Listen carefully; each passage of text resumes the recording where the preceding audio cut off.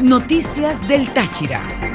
Esto es una obra emblemática, está en todo el centro de la ciudad, el Ateneo del Táchira, el más antiguo del mundo, del país. El 24 de julio ya cumple 88 años de haber sido inaugurado por primera vez. El 24 de julio de 1929 fue inaugurado por primera vez este Ateneo y esta vez, el 24 de julio del 2016, va a ser reinaugurado,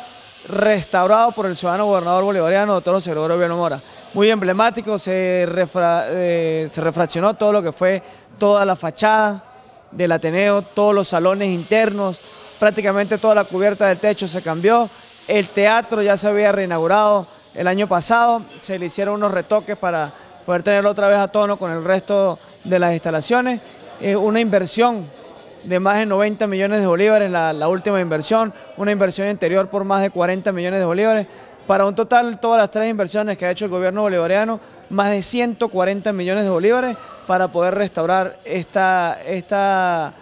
digamos, esto es un punto de honor del arte tachirense, donde prácticamente todos los artistas tachirenses han nacido, se han creado, se han formado en estos salones, porque aquí se instruyen clases de música, clases de arte, lectura, la gente viene e investiga, porque está también toda la parte de la hemeroteca, periódicos de una data muy pero muy vieja que tienen un gran valor y todo se ha hecho con sumo cuidado y no solamente va a ser el Ateneo, sino también eh, toda esta manzana, toda la fachada se han refraccionado, los locales comerciales de las casas y se va a crear prácticamente que un paseo colonial. El ciudadano gobernador ordenó el cierre tanto por la séptima avenida como por acá por el pasado de Chucho Corrales, para de esta forma ese día la gente venga a distraerse en familia, venga a montar a caballo, venga a comerse una chicha, un pastel, un masato y podamos pasar un domingo en familia y sobre todo un domingo de fiesta patria, de fiesta